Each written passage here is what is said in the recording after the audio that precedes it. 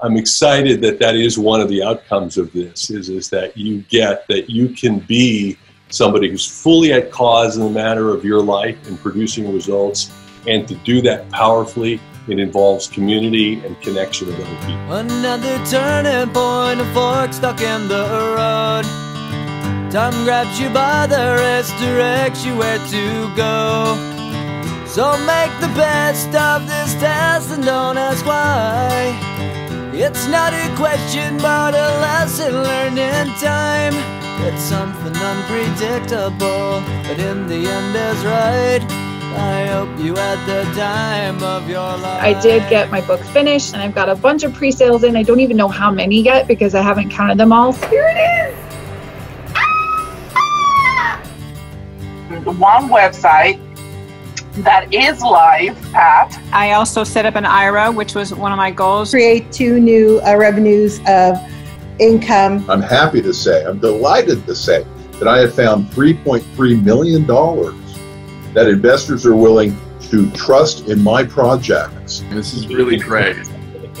For me, as a person getting into social media, to, to even have a phone call with this billion dollar company like Facebook, it just miraculous. Getting my tongue untied and my um, my my writing unblocked is the probably the greatest gift in the world that you could have made available to me, Pat.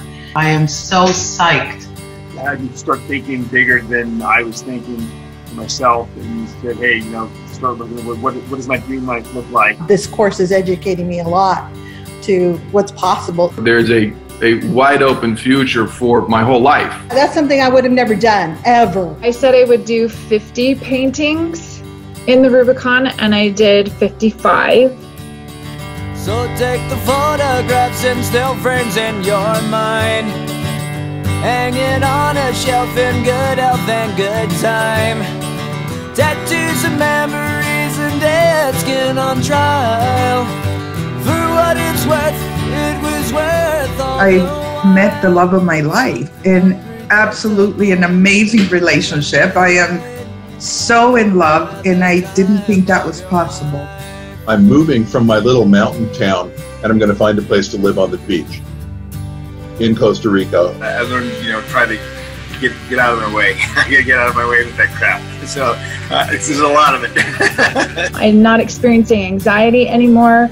Um, I'm sleeping at night. I'm feeling very fulfilled. I, I was becoming calmer. I was becoming happier. I was becoming less agitated. The biggest things for me is um, shifting out of the I'm not enough I do feel there's been huge breakthroughs in, in me like valuing myself and what I can do. Where I was when I first started the Rubicon to where I am health wise is huge. I discovered that I don't have ADD. I went from 137 to 122, so that's 15 pounds. I did lose 12 pounds. Thank you guys so much for just being that sounding board. Each of you have been such an inspiration and such like I have never been this lifted before.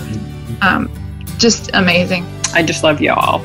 I really got clear during this Rubicon uh, what I'm actually made of, what I've accomplished during this Rubicon.